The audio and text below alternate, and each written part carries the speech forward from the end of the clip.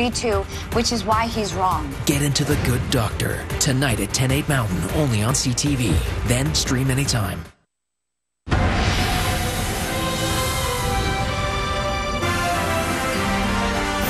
CTV News with Nathan Downer and Michelle Dubé.